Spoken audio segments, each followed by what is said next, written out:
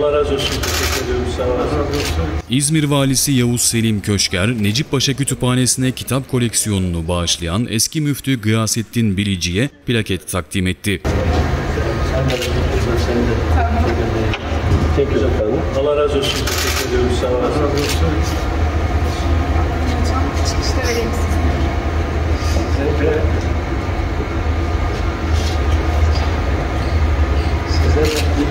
Teşekkürler. Sağ olun. Ee, Ayağınıza sağlık. Çok teşekkür ederiz. Ee, inşallah kıyamete kadar bu eserler burada ülkemize ulaşacaktır.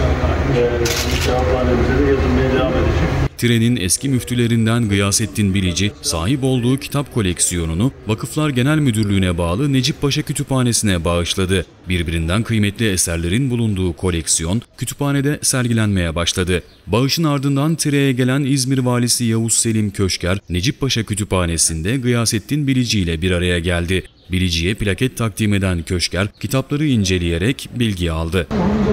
Biraz daha bilgileri.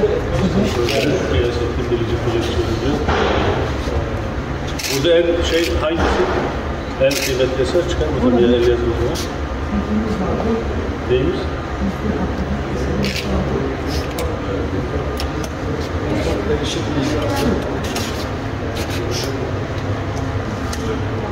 Bu ne?